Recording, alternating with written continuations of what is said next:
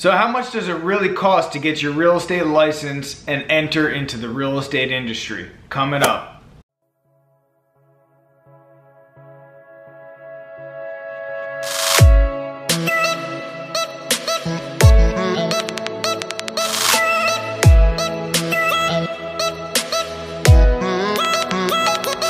What's up guys, Steve with Steve Invest helping real estate agents, real estate brokers achieve success in their real estate businesses with a path toward financial freedom.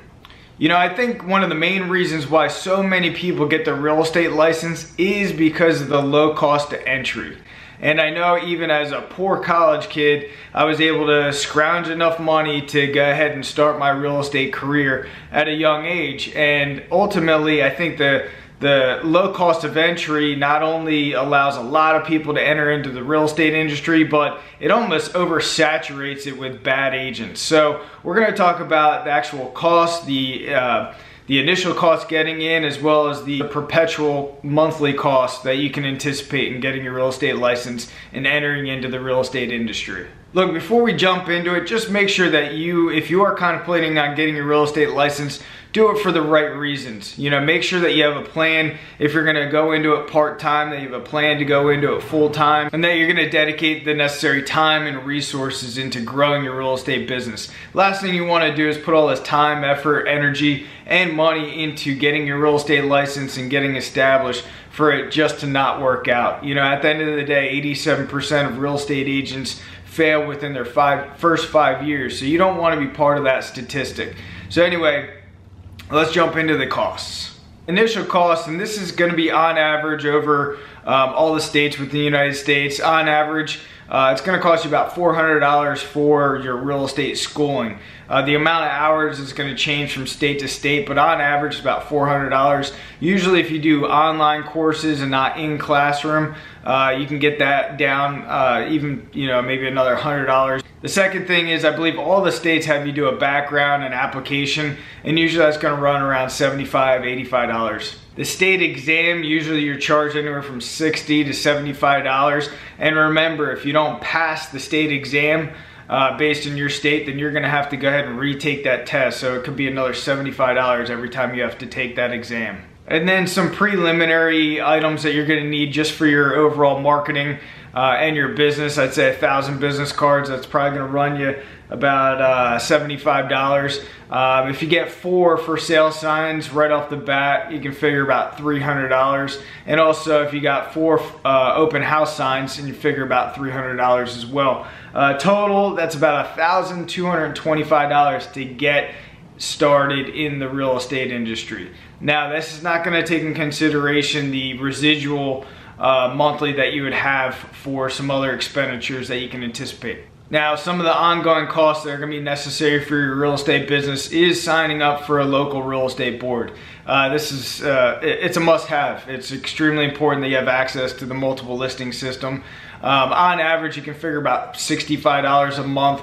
Uh, some of them will allow you to pay quarterly or even twice a year. Uh, the next couple things, you gotta figure a website, figure around $25 a month that should get you a basic website with um, IDX capability where your clientele can go there and search real estate, um, as well as a blogging platform and a CRM. So figure about $25 a month for that.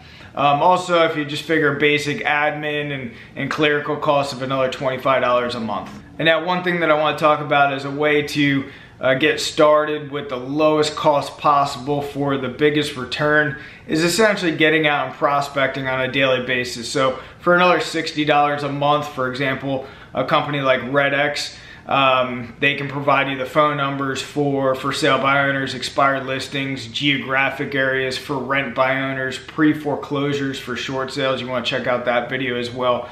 But uh, also I'm going to put a link for the for uh, RedX You'll get um, the initial fee waived. It's a $150 initial fee if you use that link. And uh, for about $60 a month, you can get some solid phone numbers to prospect on a daily basis, which would really ultimately jumpstart your real estate business. Now total, that's about $175 a month. So literally what what other business do you think you can get into that's gonna cost less than $2,000 to get in and less than $200 a month to potentially make six to even seven figures in real estate commissions um, uh, on an annual basis. There really is no other comparable business that you can get into that would be such a low cost of entry to make the kind of returns and the kind of commission dollars that a lot of real estate agents do make. Uh, we are currently working on it, but when it is ready, I'm also going to put a link below, um, and that's going to actually have a breakdown of all the every single state in the United States and the requirements. So we're going to put that in a chart format, and I'll put a link below once that's ready as well. So again, if you're considering on getting your real estate license, the cost of entry is extremely low. Uh, just be sure that again you're getting into it for all the right reasons. Uh, make sure that you're getting into the business for yourself and for nobody else. Um, also, make sure that you have a plan to go in. You really want to set up a plan to go full time into the business. So, if you're going to go into into the real estate industry in a part time basis, then just make sure that you have some sort of monetary plan to get you full time, say within four months or six months. Make sure you have a deadline for that because the last thing you want to do is be part of that 87% statistic that fail within their first five years. So just make sure again that you uh, you review this content, subscribe to this channel, Steve Invest. We have a lot of helpful uh, videos. Also, the links below. Go to our our uh, website where there's a lot of free content, a lot of free downloads there as well. It's going to help you in your real estate career. So my question for you is. If you're considering getting your real estate license and there's a hurdle stopping you, what is it? comment below. Maybe we can help you out. Again, thanks for checking out this video. If you got one good thing, I appreciate you subscribing as we're going to have more and more content and more and more videos coming at you guys every single week. Thanks a lot and I appreciate the support. See you.